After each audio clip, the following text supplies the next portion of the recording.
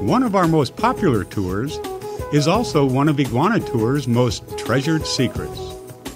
The Damas Island Estuary and Mangrove Boat Tour is highly recommended for any naturalist, young or old, who wants to experience firsthand the pulse of the mangrove day or night.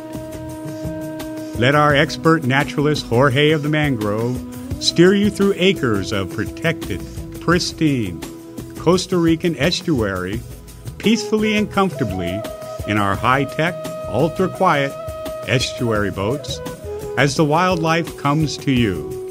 Sometimes right into the boat. Learn about the secrets of the mangrove ecostructure so vital to Costa Rica and the world as well.